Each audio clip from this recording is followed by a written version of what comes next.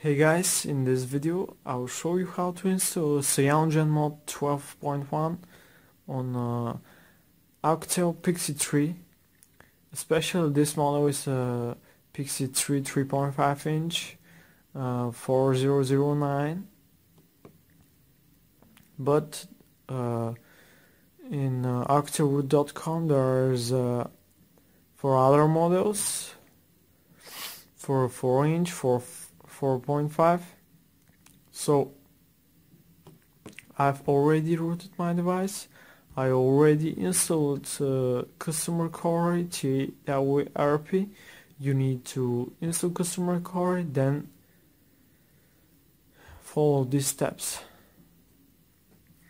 So completely turn off your device. It needs to vibrate which means completely power it off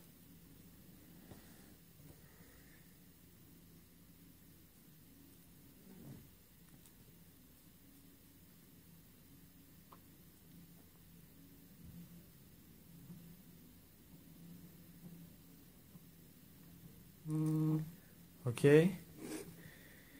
So boot into recovery by holding uh, volume up plus power button.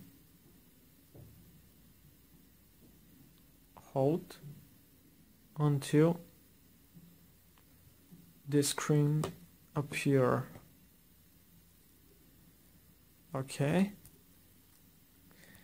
Now you need to uh, remove everything from the phone go to wipe advanced wipe and check all things.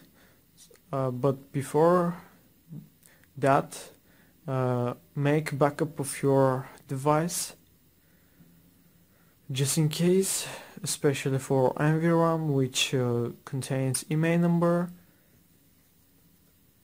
to have a backup of your original ROM stock ROM so wipe advanced wipe check everything except my crazy card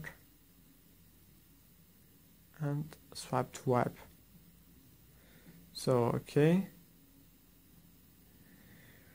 It's time to install CyanogenMod zip file